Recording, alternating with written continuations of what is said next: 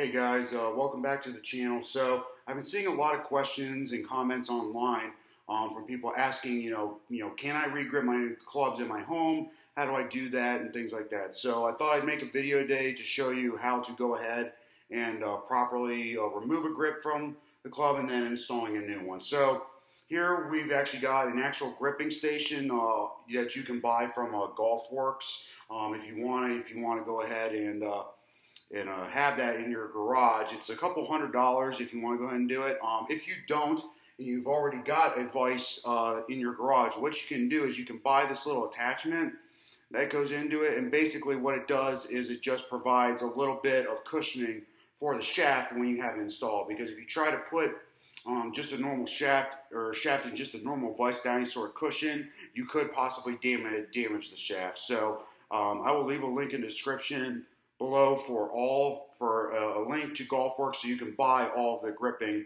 gripping stuff uh, if you want to. So so basically starting off, what we first have to do is obviously uh, remove uh, the grip that's already on there. So what you just want to do is use a box cutter and then you want to make sure that you have a blade that has a little bit of a hook on it and that's just going to help us get underneath the grip to start it. So, so you just go to the bottom half of the grip here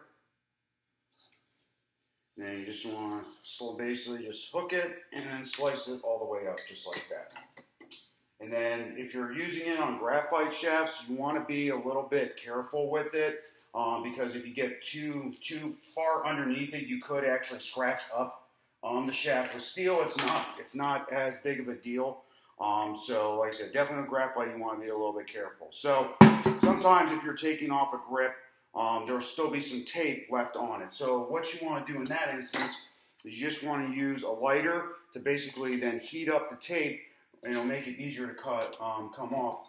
Then what you can do is you can use this little, this little tool here and basically what this is going to do is if you got any tape on it, you'll just put on the shaft and basically, basically just, you know, peel it off like that and then that way it makes it easier uh, for you to be able to get um, the rest of the tape off. So once you've done all that, now, now we want to get ready to install our grip. So all you'll do is take your grip here, come up here. So I've got, so you want to make sure you use double-sided tape for this. So you're basically just going to put your grip right there, pull the tape up to where it's just about, to where it's pretty much the same length as your grip. And then you just peel it off.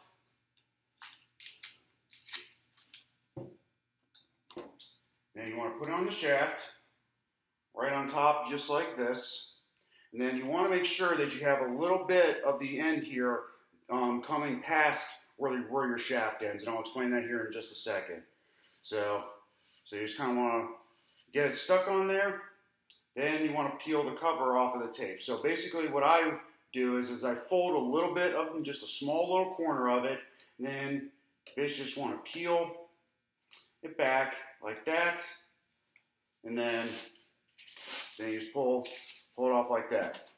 Then from there, you want to wrap, you want to make sure you're getting the tape wrapped all the way around, trying to keep it as smooth as possible.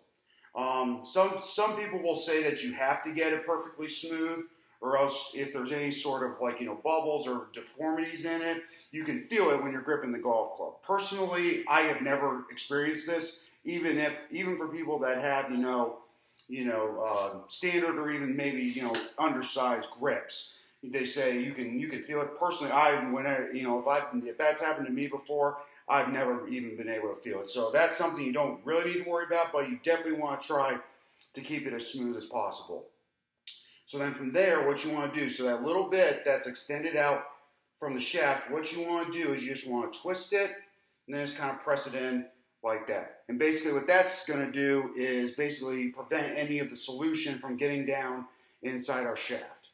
So after that, now we're ready to put on our grip. So what I actually use is I use odorless mineral spirits. So the reasoning behind why I use these is I've had issues in the past finding a grip solution that you know that's consistent. Sometimes I've had ones that have worked really well and others that have like you have to empty the entire bottle onto one grip to get it to go on. So, and so somebody told me about using mineral spirits one time, and I started using those and have never ever had an issue issue with them. Of course, now I probably jinxed myself, and it's probably not going to go on uh, real good. So, like I said, like I said, I said, you can use odorless mineral, mineral spirits.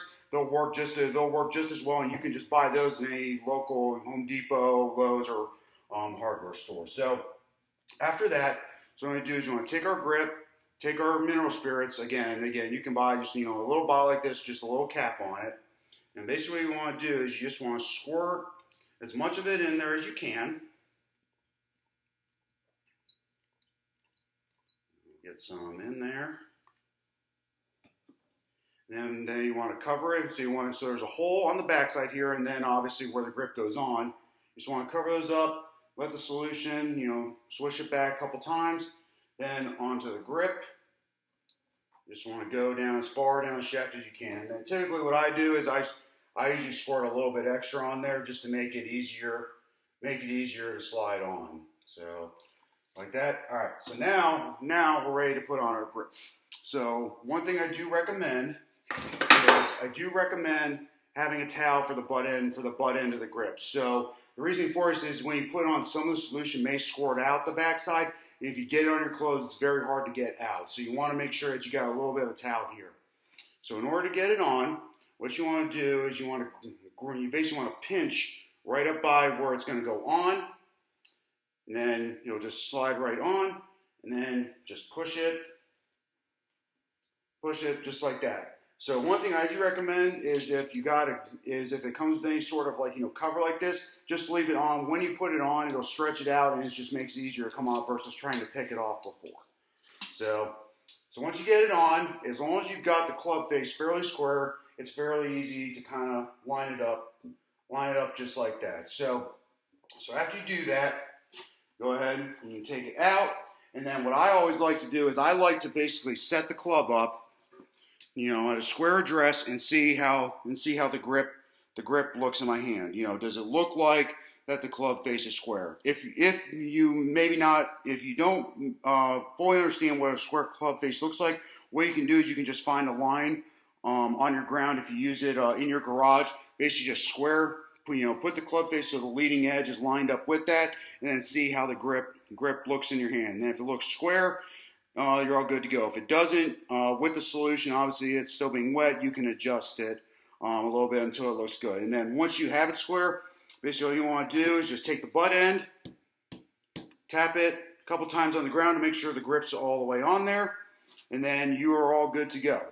So, and then, so once you get the grip on, I usually recommend waiting about 12 12 hours or so um, to let the grip solution dry. And then after that, after that, you should be good to go. So I appreciate you guys uh, checking out the channel um, today. Hopefully, for, for those that want to look at uh, you know gripping their own clubs at home, hoping this helped. And I will see you guys next time. Oh, and if you if you liked the uh, video today, make sure you hit that like and subscribe button. Thanks.